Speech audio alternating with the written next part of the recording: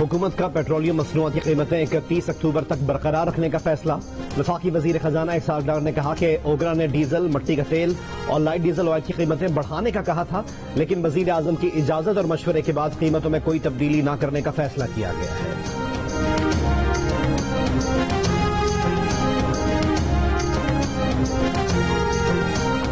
Army chief general Qamar Javed Bajwa का LOC का दौरा अगले मोर्चों पर तैनात फौजी जवानों से मुलाकात। आर्मी चीफ का एलओसी पर तैनात अफसरान और फौजियों की ऑपरेशनल तैयारियों पर इजहार इतमान आर्मी चीफ को एलओसी की मौजूदा सूरत हाल और ऑपरेशनल तैयारियों पर ब्रीफिंग दी गई।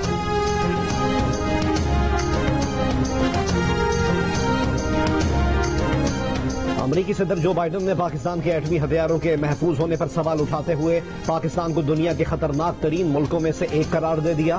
पाकिस्तान का शदीद रद्दमल अमरीकी सफीर को तलब करके एहतजाजी खत थमा दिया। वज़ीर आज़म शहबाज शरीफ ने कहा कि बयान हक के बरक्स और गुमराह कुन है। पाकिस्तान का जौहरी प्रोग्राम मौसर तकनीकी और fool proof command and control system के जेर इंतज़ाम है। और पीपल्स पार्टी के सेनेटर रजा रब्बानी ने कहा है कि पाकिस्तान के एटम बम पर साम्राज्य की नज़र है। जो बाइडन सुन ले, पाकिस्तानी कौम अपने मुल्क पर जान देने को तैयार है। पाकिस्तान का बच्चा बच्चा कट मरेगा, लेकिन एटम बम पर आँच नहीं आने देगा। मुफ्ती महमूद कॉन्फ्रेंस से खिताब में इमरान खान पर भी तनकीद, बोले, जब उन्हें इकतदार से हटाया गया तो हकीकी आज़ादी याद आ गई।